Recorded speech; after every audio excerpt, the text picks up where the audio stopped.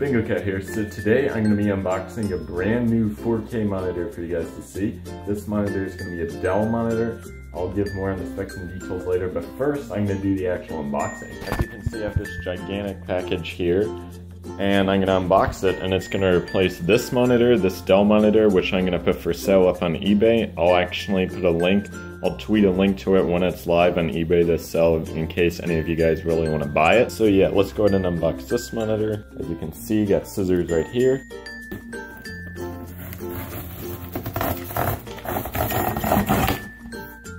Oh snap, I got another box, hooray! Here we go, Dell 24 inch money, yeah. Um, P 2415Q. No idea what any of that means, but this monitor was really cheap for a 4K monitor. And Dell claims this is their highest resolution monitor ever. There we go.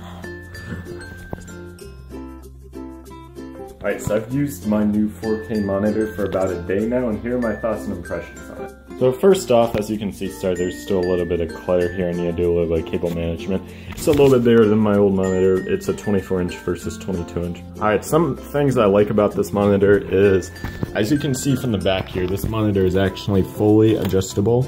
You can adjust the tilt, you can adjust the height, or you can flip this monitor different ways if you want. I'm not gonna do it fully, but here you go. Here's what the actual 4K resolution looks like.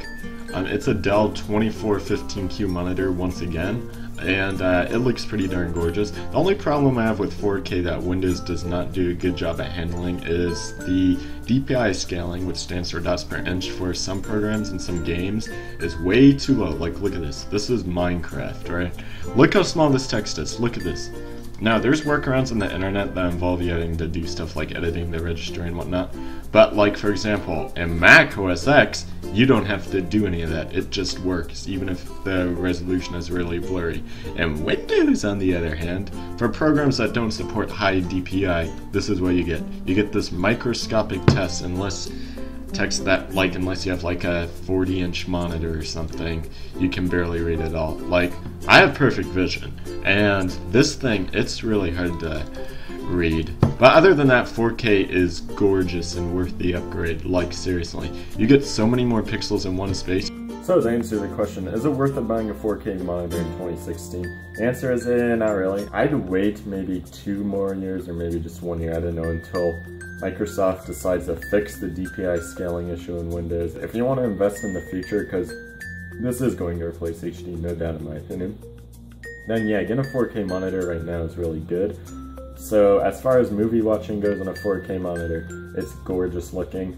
There's only really two places I know of online where you can get movies right now, and it's just Netflix and YouTube. As far as 4K gaming goes, most games don't really support 4K yet. The ones that do, it really it stresses out your graphics card so bad that you'll just want to game at 1080p unless you plan to get multiple high-end graphics cards. Yeah, that's basically all. So yeah, thank you guys for watching, like and subscribe, and I hope to see you guys next time.